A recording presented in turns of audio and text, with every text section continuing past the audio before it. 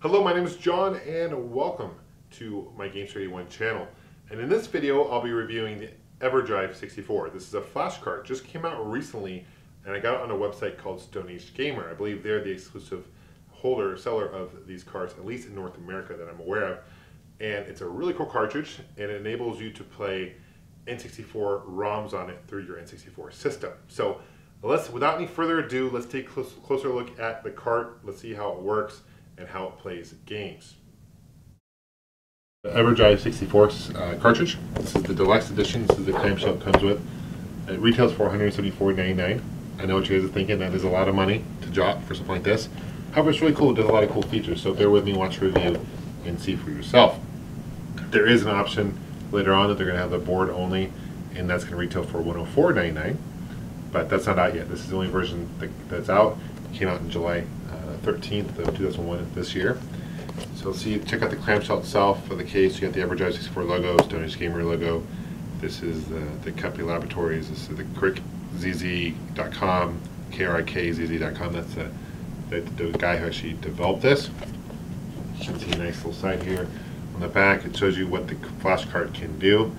And basically, a flash card enables you to play ROMs through the cart on your system. So it doesn't necessarily emulate the game because it plays it like another any cart would do. It just it, it's convenient. I, I, like this for the convenient factor as well. And I know what a lot of you guys are thinking. I know emulators are a huge thing. Uh, it's a big controversy in the gaming community. A lot of people like to play emulators. Some people don't like to play emulators. There's gamers out there that all they do is play ROMs and emulators, and they have a main cabinet and all that good stuff. And there's people out there who are true and just want to collect for the purpose of collecting and play the games that they collect for.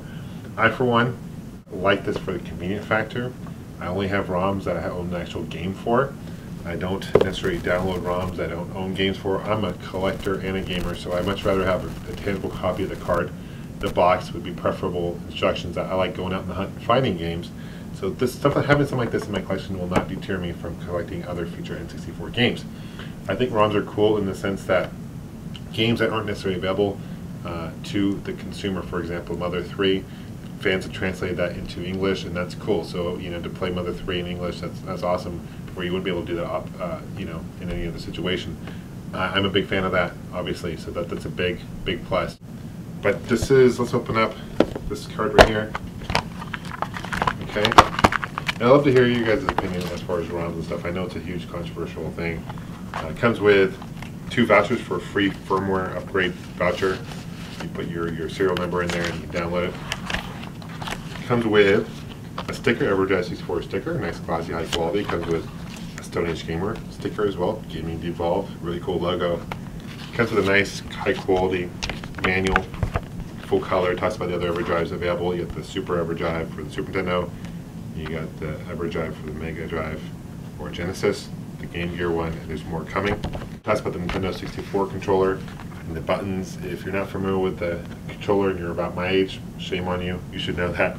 Uh, just joking. But uh, it talks about game saving. It basically allows you to save games through uh, different, you got the EEPROM 44K, you got the EEPROM 16K, or uh, SRAM, RAM, but it does not do flash RAM. So any ROMs that use flash RAM to save games, that will not work. For games like Zelda OOT, uh, actually you have to reset the system before you turn it off uh, because the reason you do that because for that game particularly it actually saves onto it wants to save it onto the card where it should be saved onto the SD card so not a big deal you just have to reset it and then turn off your system so if you have that ROM that will work okay so that's what comes with kind of explains the different you know what what the card's all about how to load games frequently asked questions so it's pretty nice here is the card itself it's, it's nice charcoal gray dark gray and it is vinyl dyed, which means they didn't really necessarily spray paint it. They actually dyed it, you know, this dark gray color, and they took it from a donor card. They, they took the stickers off. They put on their new EverDrive sticker, high quality. Uh, you got the black, you got the gold label here. You got my serial thing. This is Gamester GM STR, which is customized to me. That's really neat. When I ordered it, this is where the SD card would plug into. Not only takes SD cards, it also takes, according to the back here, SDHC cards. It takes MMC cards as well. a nice operating system menu, which is true. Also comes with this, this card here, SD card. This is the 8 gig one. This is the one that comes with it. You have options to actually upgrade to 16 gig and 32 gig SD cards for more memory, which will cost a little bit more to do that. Also, the nice thing about this uh, this device here is it enables you to play games that are region lockout. So you can play ROMs uh, that are released Japanese ROMs on here. You can play PAL ROMs on here. The thing about PAL ROMs though is it's going to play, sometimes, it depends on the system, it will play in a gray scale. I'll show you an example of that. So it will play, but sometimes it's in a gray, black and white scale. Japanese games work great, and it's not necessarily the, the cartridge itself that plays it in the grayscale or does that, it's a system. So some systems do and some don't. My particular N64 uh, does play in grayscale, unfortunately. So I guess it depends on what model you have, if it's an earlier model or a later model. Um, and also, another interesting fact is Japanese and PAL N64 cards are slightly different. So if you're looking to purchase this, if you're if you live in a PAL region and you're looking to purchase this uh, in, for your systems there, it's going to cost a little bit extra. I think it's about twenty dollars extra to do that. In Japan, same thing. It's going to be about fifteen dollars extra. And the lockout chip itself, all N64 cards have a lockout chip. Uh, basically, uh, and and what the lockout chip, most of them are 6102 NTSC 6102, except for two, and that's Banjo Tooie, and it's also Jet Force Gemini. Those two games are the only games that will not work on here. That's actually 6105 is a lockout chip. In, in Europe, or PAL versions, actually, the lockout chip's different, 7101. So that's why the extra cost is involved with, with those particular cards. Uh, nonetheless, it's really cool. Uh, the deluxe edition does come with a lockout chip. The board-only version does not come with that, so keep that in mind. Let's see how this thing works as far as loading ROMs onto it, and let's see how it plays. Okay, so I'm here I am at my Mac. This will work again on PC. Doesn't really change. Everything's pretty much the same. What I've done is I've put my uh, SD card into my Mac, and I've downloaded some ROMs. Here it is right here. And you just Google ROMs. They're pretty easy to find. Just Google like ROMs for N64 ROMs. And I put it in here. I've downloaded, unzipped them, and I put them in here. And all I need to do is open up my EverDrive uh, SD card, which is this window right here. And I'm just going to drag them over here. Click and drag, hold and click. It's going to transfer them pretty easy. These are games I already own. We've got Zelda, we've got Super Mario 64, Mario Kart 64, and one of my favorites, GoldenEye. And that's all you do. Once you're done, you have to eject your SD card, and that's it. Pretty much very simple. That's that's pretty much all it takes.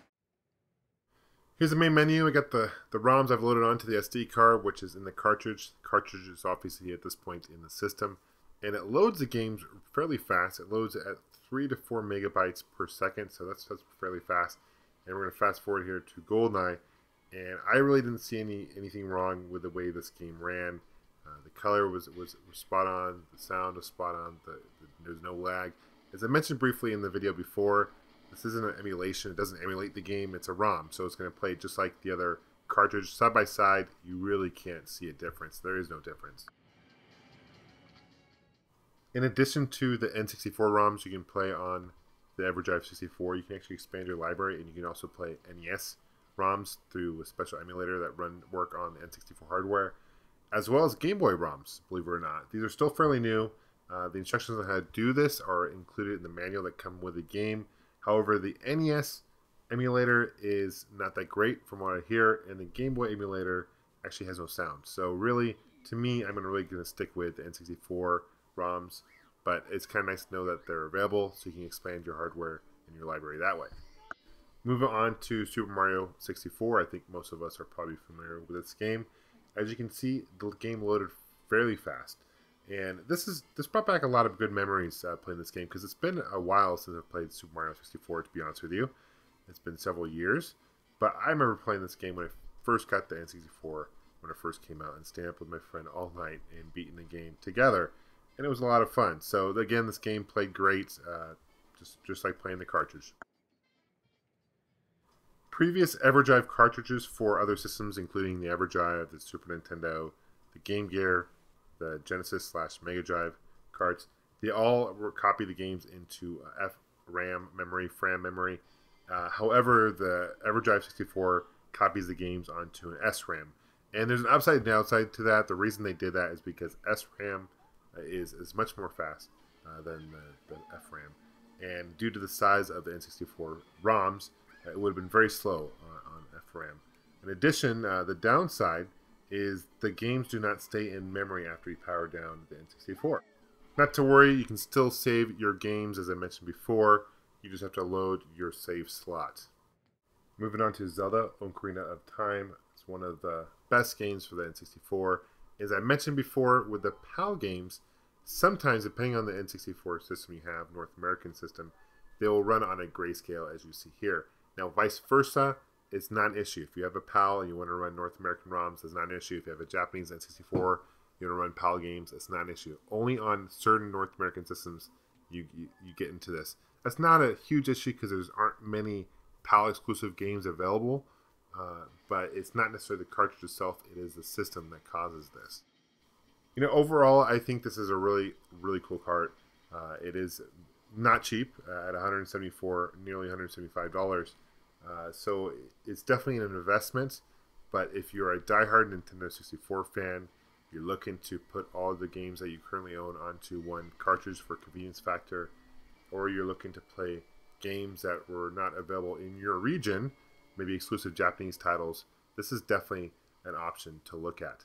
Thanks for watching, guys. I appreciate it. I'll put a link to Stone Age Gamer below. And I'd like to know, guys, what is your favorite Nintendo 64 game ever? So write your comment below. Thank you.